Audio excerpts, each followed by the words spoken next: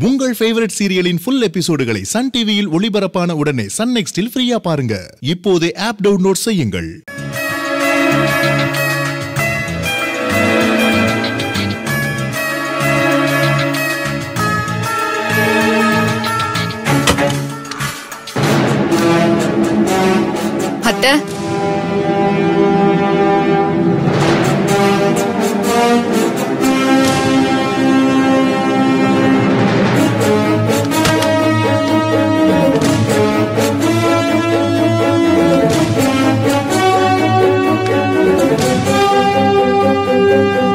என்னத்த?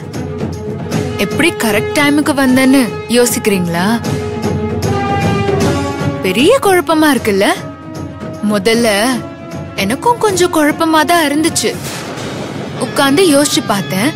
தெளிவாயிடுச்சு. ஈவினிங் ஆறு மணிக்குள்ள நான் பணத்தோட வந்துடக்கூடாதுங்கிறதுக்காக நீங்க என்ன வேணாலும் செய்வீங்கன்னு எனக்கு தெரியும். ஆனா நீங்க இந்த அளவுக்கு சீப்பா போவீங்கன்னு நான் கொஞ்சம் கூட எதிர்பார்க்கல ஏன்னா இதுல எங்க அம்மா உயிர் சம்பந்தப்பட்டிருக்குன்னு தெரிஞ்சும் நீங்க இப்படி எல்லாம் பண்ணிருப்பீங்களான்னு எனக்கு சந்தேகமா தான் இருக்கு.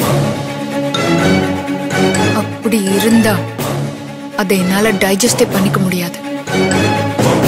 அவங்களை இப்படி ஒரு நிலைமையில பார்த்துட்டு நீங்க என்ன பழிவாங்க நினைப்பீங்கன்னு நினைக்கவே இல்லை அத்தை. இந்த கடத்தல் விஷயத்துல நீங்க இன்வால்வ் ஆயிருக்கீங்கன்னு மட்டும் எனக்கு தெரிஞ்சதுன்னு வைங்க.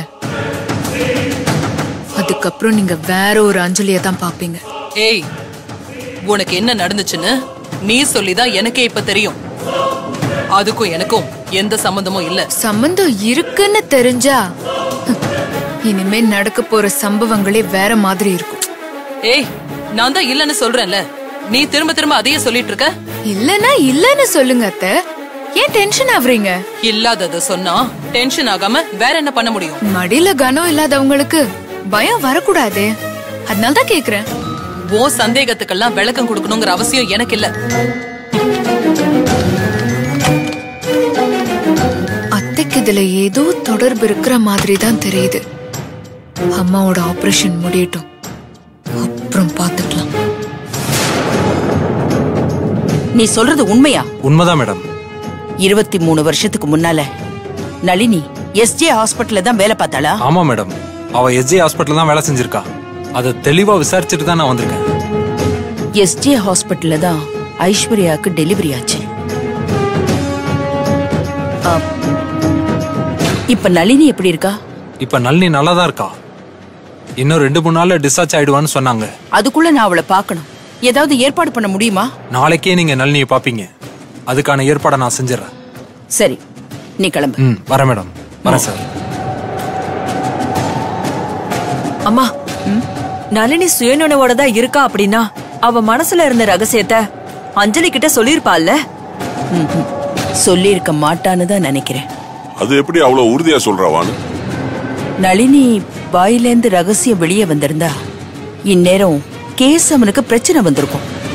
அப்படி பிரச்சனை வந்திருந்தா அவன் நளினிய விட்டு வச்சிருப்பானா? அதனாலதான் சொல்றேன். நளினி இன்னும் அந்த ரகசியத்தை வெளியில சொல்லல. அஞ்சலி கிட்ட அந்த ரகசியத்தை அவ சொல்றதுக்கு முன்னாடி நாம முந்திக்கணும். அம்மா நாம எதிர்பார்த்துட்டு இருக்கிற ரகசியம் தான் நளினி மனசுல இருக்குமா? ஆமா. ராஜாவோட பொறப்பு பத்தின ரகசியம்தான் நளினி மனசுல இருக்கும்.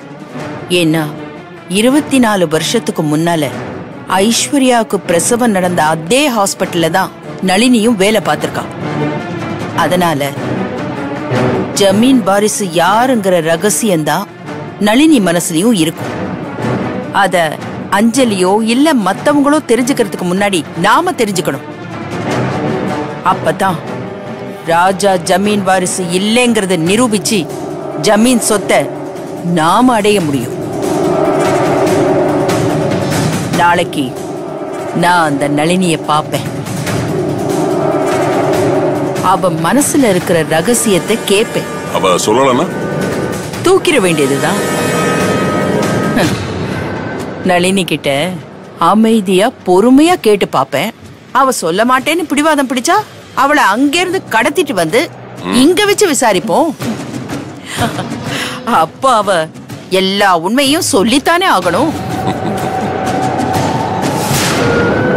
அட சினிமால வர மினி கிளைமேக்ஸ் மாதிரி இவ்வளவு விஷயம் நடந்திருக்கு? ஏங்க நடந்துச்சா இல்லையா? இல்ல நடந்த மாதிரி கதை விட்டாளான்னு யாருக்கு தெரியும்? அவளுக்கு எது தெரிஞ்சிருக்கோ இல்லையோ நல்லா பொய் சொல்ல கத்து வச்சிருக்கா. பொய் சொல்லி அவ என்னத்தை சாதிக்க போறா? அவளுக்கு தேவையான எல்லாமே தான் கிடைக்குதே. ஹ, அவளுக்கு பொய் சொல்ல வேண்டிய அவசியமே கிடையாது. உண்மைதான் மாப்பிள்ள. அவளுக்கு அந்த மாதிரி எந்த அவசியமும் இல்ல. சொன்ன மாதிரி எப்படியோ பணத்தை புரட்டி கட்டிட்டா இல்ல நானும் எதிர்பார்க்கலமா சொன்ன மாதிரி இல்லத்த. சொல்லாத மாதிரியும் பண்ணிருக்கா. மூணு மாசம் டார்கெட் வச்சு அத மூணே நாள்ல முடிச்சிட்டாலே அத சொல்ல மறந்துட்டீங்களே. ஆமா இது ரொம்ப பெரிய சாதனை மாப்பிள்ள. கடைசி வரைக்கும் அவ சோர்ந்து போகவே இல்லம்மா.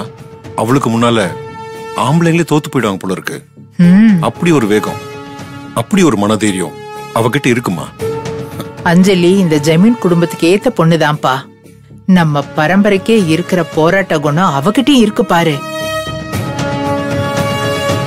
ஏத்த பொண்ணு இல்ல. ஜமீன் வீட்டு பொண்ணே தான். அப்புறம் போராட்ட குணம் இல்லாமல இருக்கும்? ராஜா? அஞ்சலி வந்துட்டாளாப்பா? வந்துட்டு இருக்கா பாட்டி. இன்னும் கொஞ்ச நேரத்துல வந்துருவா. ம். என்ன? ம்? ஒரே அஞ்சலி புராணம் பாடுறீங்க? புராணத்துல இடம் பிடிச்சிட்டால சகல. அதான் புராணம் பாடுறோம் பத்து லட்ச ரூபாய புரட்டுறதுக்குள்ள கடத்தல் கிடத்தல் எல்லாமே நடந்திருக்கு. தனி ஒருத்தியா அதுல இருந்து தப்பிச்சு வந்து சாதிச்சிருக்காள. லேட்டா வந்துட்டு கடத்திக்கிட்டாங்க நான் கதை விடுறா. அதையும் நீங்க நம்பி பேசிட்டு இருக்கீங்க. அது கதையில கேசவா? நிஜம். அது யாருக்குங்க தெரியும்? எனக்கு தெரியும் ஐஸ்வர்யா. அஞ்சலி சொன்னது அத்தனையும் உண்மை. இப்பதான் என் லாயர் ஃப்ரெண்ட் ஒருத்தங்கிட்ட பேசிட்டு இருந்தேன். அஞ்சலியை கடத்தின கடத்தல்காரங்களை போலீஸ் பிடிச்சிட்டாங்களா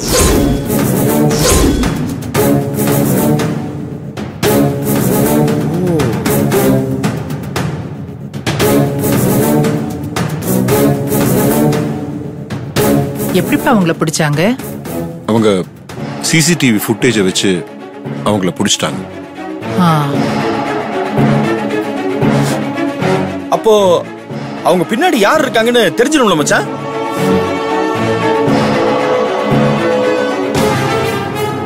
பின்னாடி யார் இருக்க போறாங்க? பொதுவா பொண்ணுங்களை கடத்தி வெளிநாட்டுக்கு அனுப்புறவங்கன்னு அஞ்சலி சொன்னால. அஞ்சலி சொல்றதுதான் கதைன்னு சொன்னியப்ப. இப்பதான் அது நிஜம்னு தெரிஞ்சு போச்சுல்ல? ஆ.